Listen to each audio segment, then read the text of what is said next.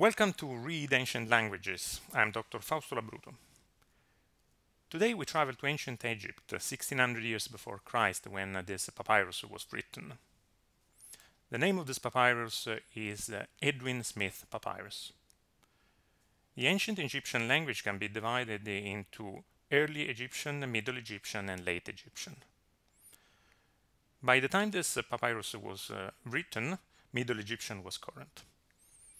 Middle Egyptian was actually written in two forms with hieroglyphs, largely for ornamental reasons on walls of tombs and monuments, and uh, with the hieratic system, which you see uh, in this papyrus.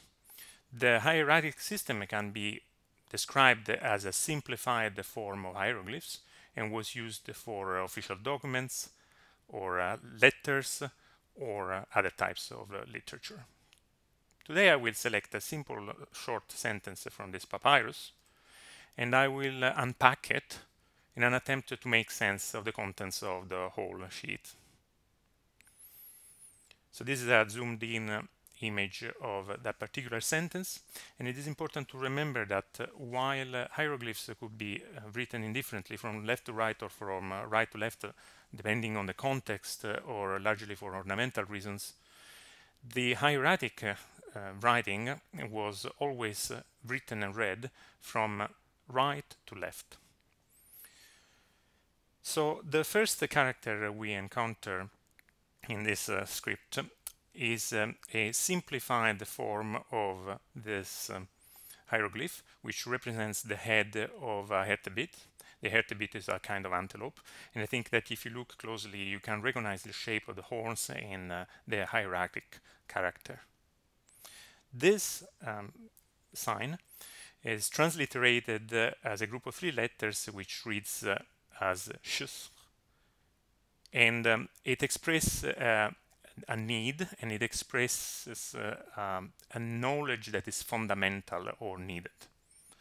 The next character is a simplified form of the hieroglyph which represents the quail chick and is transliterated as, a single W, uh, which is a semi-vowel read as a then you can go on transliterating uh, the rest of the sentence and you obtain this particular sentence which translated into English reads necessary skills for treating a slash wound. The Edwin Smith Papyrus is in fact a tractate of uh, orthopedic and traumatic surgery. It is the oldest known book of trauma surgery.